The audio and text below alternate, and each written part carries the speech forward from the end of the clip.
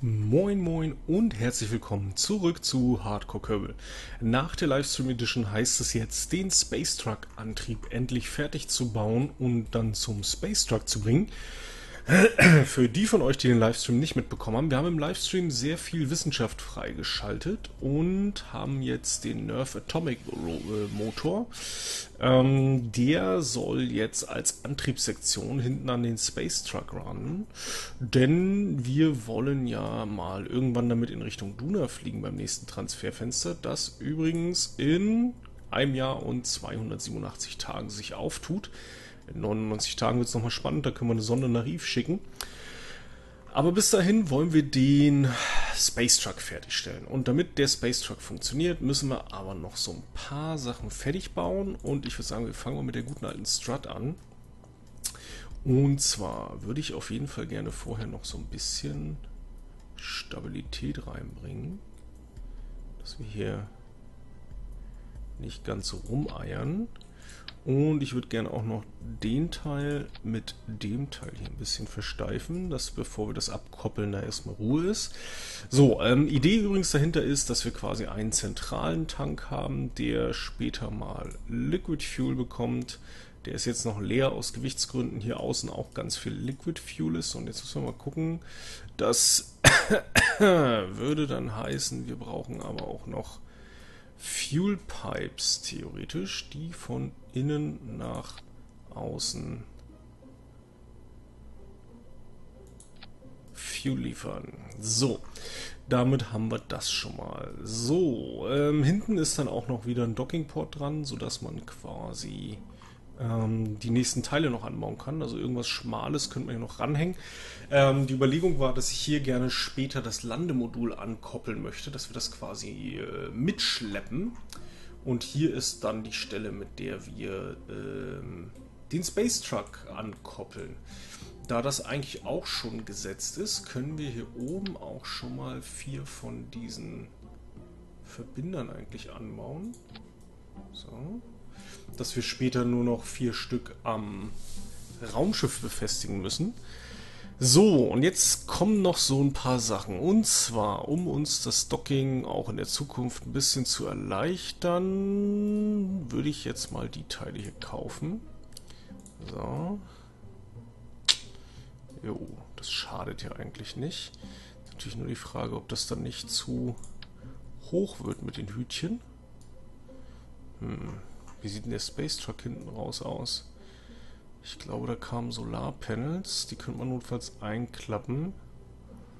Und dann können wir ja auch die Hütchen abbauen im Zweifelsfall, sobald wir im Weltall sind. Das ist ja nicht so wild. Genau, wir, wir können die ja immer noch abbauen.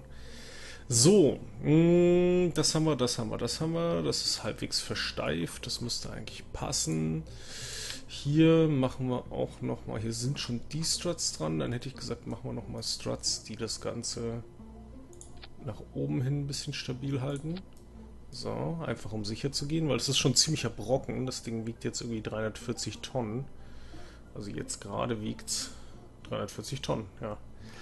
So, ähm, lasst mich nachdenken. So, das ist okay. Von die ist auch relativ erprobt. Wir haben jetzt nur statt den Skippern die Mainsails dran, die wir mittlerweile auch freigeschaltet haben.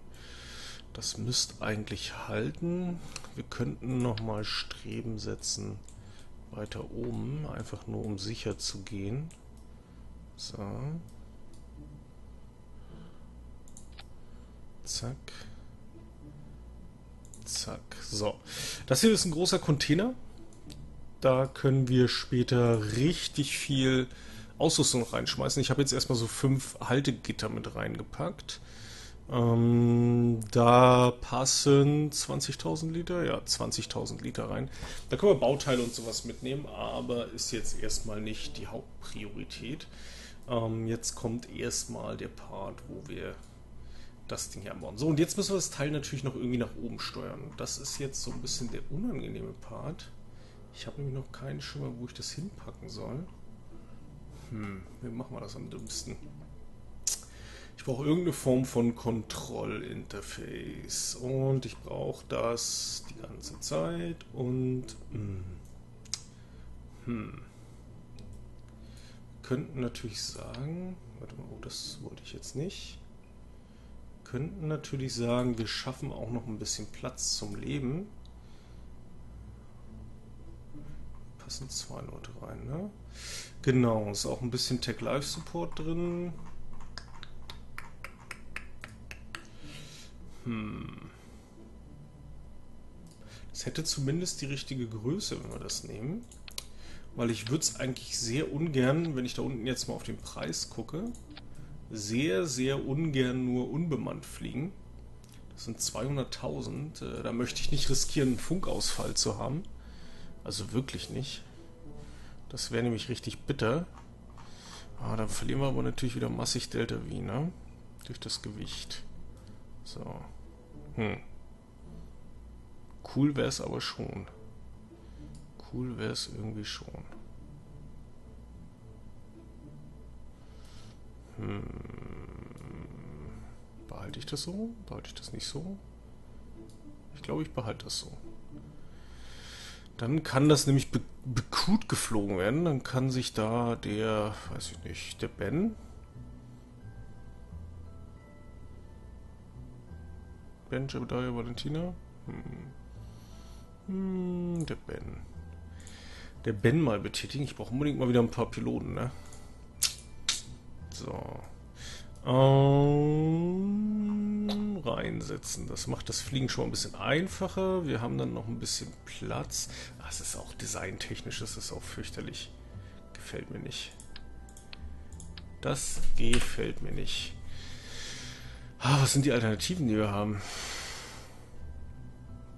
Ein Probe Core nehmen. Auch doof. Auch echt doof. Auf jeden Fall können wir schon mal es mitnehmen. Wenn wir hier schon die Dinger anbauen, sollten wir vielleicht auch Steuerdüsen mitnehmen. Zack.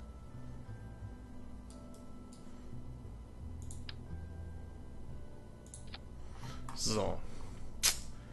Also die jetzt halbwegs gerade sind sie natürlich nicht. So. Wird ein Schuh draus. So, jetzt bleibt natürlich die große Frage, was machen wir steuerungstechnisch damit? Was machen wir steuerungstechnisch damit? Die coole Variante wäre natürlich einfach zu sagen,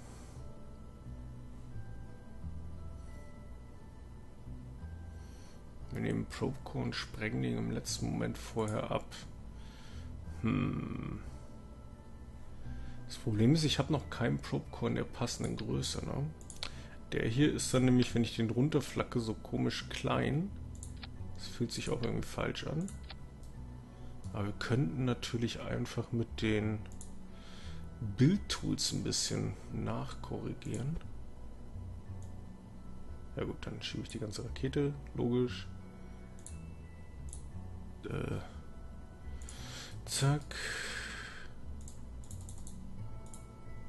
Hä? Den hätte ich gerne. Äh ja, aber nachher geht dann der Deckungspfort nicht sauber. Das ist es auch noch nicht. Nope, nope, nope. Du bleibst mal so. Dann also das Ding hier.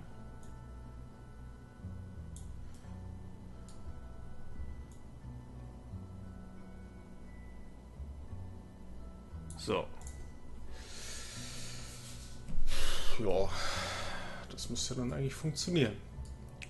Sollte. Passt da noch ein Dockingport drauf oder blockt der irgendwie? Ja, sieht gut aus. Okay, damit haben wir den. Dann brauchen wir eine Antenne, um zu arbeiten. Und zwar nehmen wir wieder eine mit, die auf jeden Fall Omni 500 Kilometer. Das müsste eigentlich für unsere Zwecke komplett reichen. Und eine davon soll es eigentlich auch tun. Und die bauen wir mal... Wo bauen wir die mal an? Eigentlich sollten wir sie oben anbauen und später abschalten. Nehmen wir noch einen Kommunotron mit. Das verbraucht 36 Strom, 7,8 Strom die Minute. Hm. Ich nehme mal eins mit.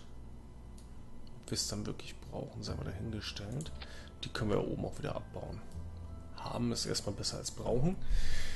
Ja, dann also doch mit einer Probe, würde ich sagen. So, jetzt lass mich nochmal gucken. Wir haben eine saure Versteifung. Wir haben Probe Core, wir haben die Triebwerke, wir haben Spritlines, die von außen nach innen führen. So, und ich würde sagen, wir lassen jetzt noch ein bisschen Sprit ab hier. Um das Gewicht nochmal zu reduzieren. Einfach um ein bisschen mehr Delta V zu haben, damit wir ein bisschen Puffer haben für irgendwelche komischen Sachen.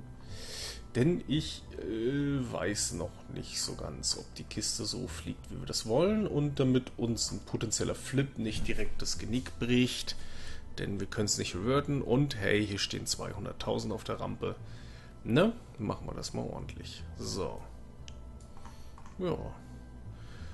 Trust-Weight-Ratio ist auch mehr als ausreichend. Da können wir einmal richtig viel Gas geben am Anfang und dann ein bisschen langsamer machen. Sollte eigentlich hinhauen. So, sind alle Tanks gesperrt, die ich gesperrt haben wollte. Jawohl. Der ist offen. Jawohl. Gut, dann würde ich sagen, speichern wir das nochmal und bringen das Teil rauf zum Space Truck, um es da anzubauen. Das wird sicherlich eine sehr spannende Eva, also beziehungsweise erstmal das Docking-Manöver, aber das sollte eigentlich machbar sein. Vorher müssen wir unbedingt noch gucken, fuck, ob wir einen, ja gut, das finden wir dann daraus, ne? Sonst muss ich einen anderen Dockingport abbauen und dahin umbauen. Ich habe auf jeden Fall seitlich am Space Truck noch Dockingports dran, also irgendwas wird da sein. So, jetzt müssen wir erstmal den Space Truck finden. Shipwrecks, überall Shipwrecks. Scoutpod, Pioneer Module, Tanmas, Craft, hier vorne fliegt noch was. Space Truck, gerade an uns vorbei. Nee. Set as Target. So. Ja, dann würde ich sagen, warten wir kurz, bis der wieder rumkommt. So viel Zeit haben wir und dann wird es auch ein bisschen heller während wir auf den Space Truck warten. Und dann können wir wenigstens im Sonnenaufgang starten. Wahrscheinlich wird das relativ exakt treffen. Und müssen uns dann nicht im Dunkeln abtun. So. Und die haben jetzt bewusst, dass ich keine Solarzellen dran habe, aber ich denke, wir brauchen die nicht für den Aufstieg. Wir werden genug Strom produzieren. Das sollte ausreichen. Okay, und ab geht die Fahrt. Wie man sieht, sehr straight nach oben mit einer Trust-Weight-Ratio von 2, irgendwas. Also sehr viel Kontrolle. Auch mit dem Teil. Und jetzt nehme ich direkt mal ein bisschen Schwung raus. Dass wir hier nicht zu schnell werden und den Treibstoff nur gegen den Luftwiderstand verbrennen. Das wäre nämlich ganz schön bitter. So. Den Spritverbrauch müssten wir momentan komplett über die Teile machen, wenn alles so passt. Das sieht gut aus. Okay, dann lassen wir ihn mal ein bisschen steigen erstmal. Und hoffen mal, dass das alles so klappt, wie es soll. Die ersten 500 Kilometer sind abgedeckt und damit sollte eigentlich alles abgedeckt sein für unseren Flug. Aber wir klappen dann gleich noch die Antenne aus, die übrigens in diese Richtung zeigt. Alles klar. Okay. So, mal etwas andere Perspektive heute. Ich nehme jetzt ein bisschen mehr Schub rein. So, Sind wir schon auf dem letzten Tank? Ne. Das ist so halb und halb. Okay, jetzt Gravity turn wir das Ding mal rüber. Solange wir noch so viel Kontrolle haben. Dann hoffe ich mal, dass das nach dem... nach der Stage Set immer noch so gut vorwärts geht. Kerbal Engineer, ich mir wieder vergessen. Merke ich gerade. Aber gut, irgendwas ist immer. Das können wir gleich noch nachgucken. Okay, also der Gravity Turn war jetzt sehr, sehr konservativ. Den hätte ich auch deutlich aggressiver fliegen können, merke ich. Also das Ding hat doch gut Kontrolle. Aber ich habe gerade echt viel Angst, 200.000 einfach unangespitzt in den Boden zu rammen. Das wäre so knapp ein Viertel meines Gesamtbudgets. Das würde ich gern vermeiden. So, wir haben Stage Sap. Und Stage Sap sieht auch sauber aus. Jawohl, wir haben auch ordentlich Schub. Oh, wir sind ein bisschen früh dran, merke ich gerade. Und wir sind ein bisschen weit oben schon. Oh, das sieht gar nicht schlecht aus. Das sieht gar nicht schlecht aus. Vom Rendezvous her. Mal gucken, wie flach wir das hinbekommen. Oh ja. 16 Kilometer. 15. Ja, das sieht gar nicht übel aus. Okay, ein bisschen höher muss ich wahrscheinlich, um das jetzt kleiner zu bekommen. Nee, muss ich nicht. Halt, halt, halt, hier geblieben.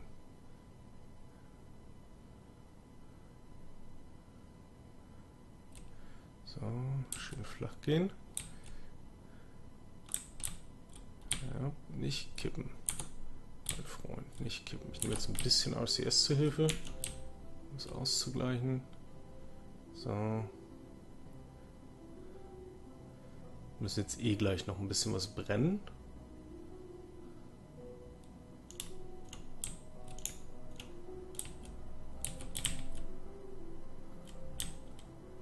Fliegt der Space Truck so tief?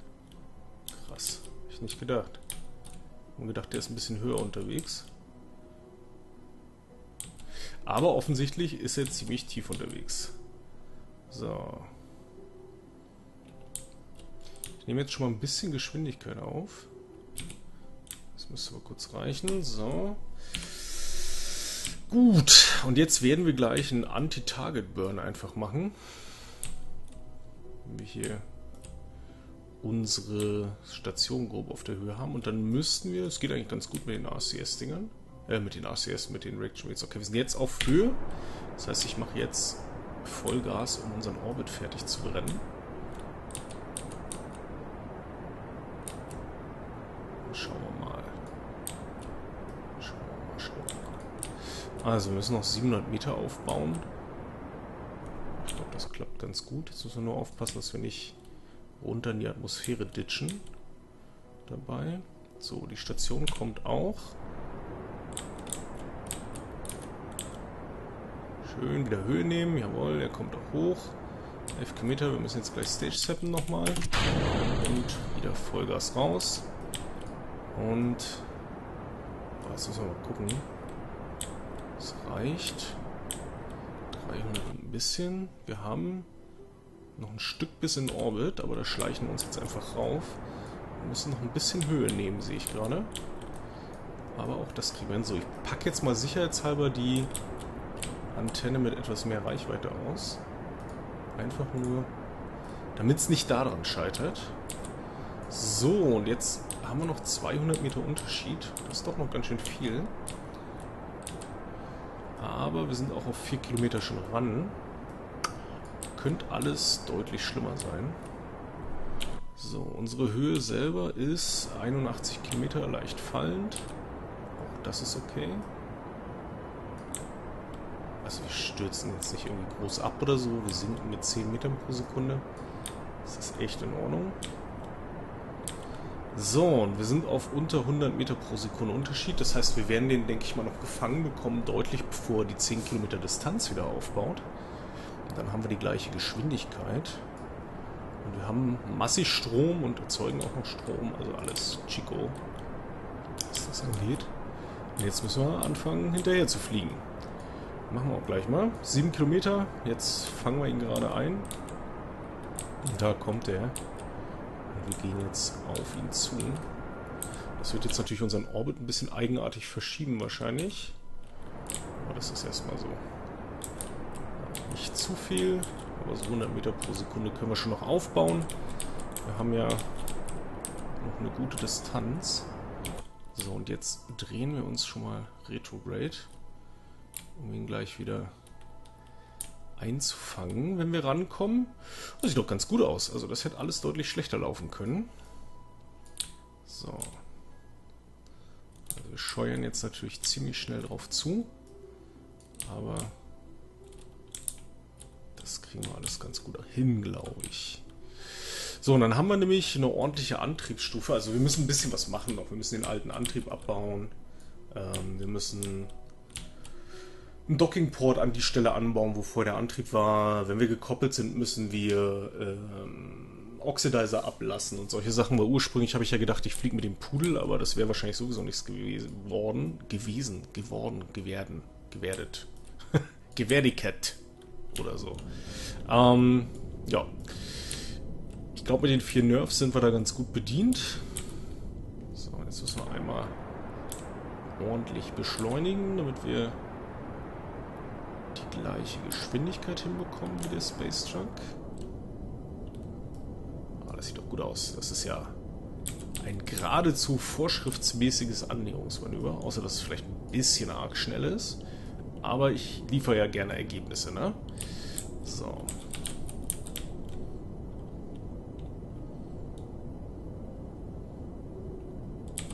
Und zwar schnell, diesmal. Diesmal schnell. Da hinten wollen wir quasi hin. Würden wir gerne unsere Rakete gleich anbauen. deshalb müssen wir noch ein bisschen bremsen. So. Ja, andere Richtung rum. Und ein bisschen runter, jawohl. Also, es sieht auf jeden Fall schon mal witzig aus. Mal gucken, wie es gleich wirkt, wenn es am Space Truck dran ist. Ob das dann immer noch lustig aussieht oder eher so ein bisschen overdone. Uh.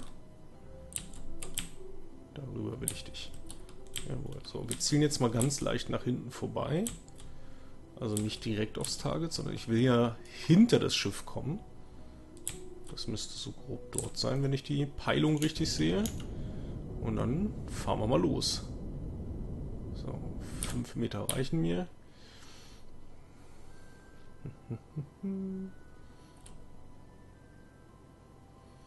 Das gibt uns dann so knappe, bei 200 Metern, ne, 5 Meter pro Sekunde, bla bla bla bla bla.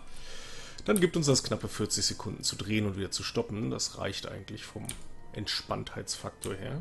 Muss ja nicht zu schnell machen. So. Oh, wartet mal. Ich bin auf der falschen Seite. Ich habe gerade das Schiff falsch interpretiert. Stop!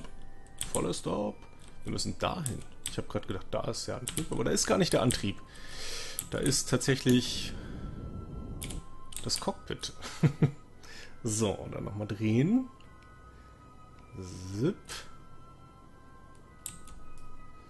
Und wir zielen jetzt ein wenig auf diese Seite des Schiffs.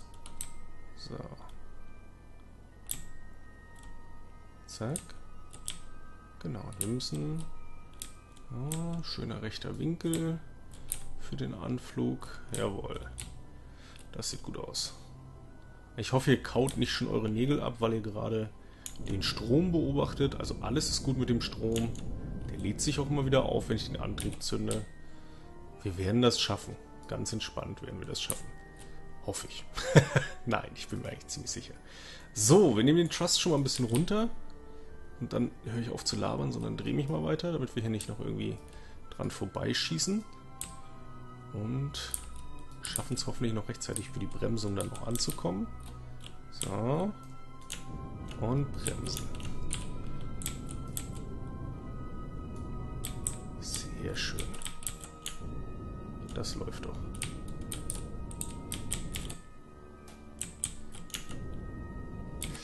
So, wir sind neben der Space Talk Station. Jetzt kommt der spannende Part, das da abzubauen und das dann dort anzudocken. Aber das machen wir in der nächsten Folge. Das wäre dann quasi am Freitag. Und euch wünsche ich einen guten Start in die Woche. Macht was draus. Ich hoffe, das Wetter ist ein bisschen besser als hier bei uns im Norden. Ähm, und ich sag Vielen Dank fürs Zuschauen. Bis zur nächsten Folge. Mein Name ist Robert und tschüss.